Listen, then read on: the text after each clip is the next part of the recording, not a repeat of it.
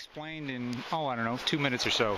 First of all, Bitcoin is a, what do you call it, a virtual currency.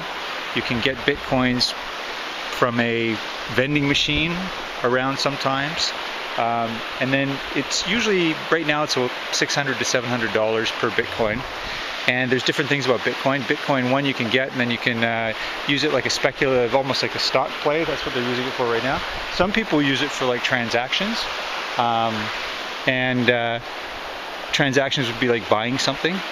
Um, and they can use that because there are microtransactions. In other words, the percentage for a Visa might be two or three percent that costs the merchant, while the microtransactions on a Bitcoin would be like way smaller than that 0.1 or whatever of a percent.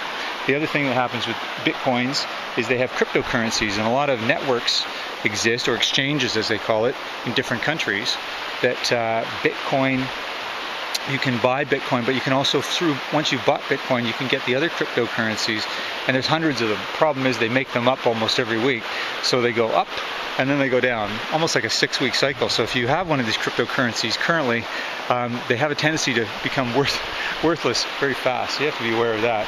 And then to actually cash out, you have to go back to the Bitcoin, exchange it to the Bitcoin, and then you can cash it out from Bitcoin. And some of these little vending machines that you can get, like an ATM, they'll have limits as to how much Bitcoin you can cash out. So if you have large amounts, um, you may not be able to cash out. Some places you can actually deposit the money to get the Bitcoin, but you can't cash out. So anyway, these are things to be aware of. The other thing is data mining. Um, you can get a computer, and your computer can make one or two Bitcoins worth of revenue per month if it handles all the transactions and that's what data mining is for bitcoins is it processes transactions so when somebody makes a transaction somewhere with a bitcoin your machine ends up tracking that transaction and then also records a transaction and handling that transaction in something called a blockchain.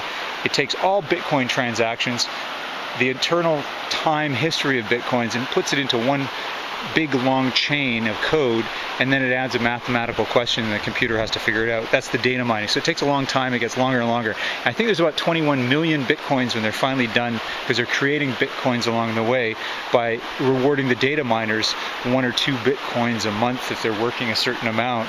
Um, and that's kind of how that one works. Uh, how they create the bitcoins is because they're paying the data miners who are handling the processing transactions. At a certain point, they'll run out. Of, I think they're about 12 million bitcoins or something right now, and they're going to peak out at 21 million. And over time, the people who are doing the data mining are making less and less money because it gets harder and harder to do the transactions, takes longer and longer, so you don't make as much money off of doing the data mining. And then at some point, they'll say, okay, well, we, are not making any more bitcoins, so therefore they'll have to charge a percentage of the uh, transaction um, will go towards the data miners to handle that. And that's your Bitcoin world in a nutshell.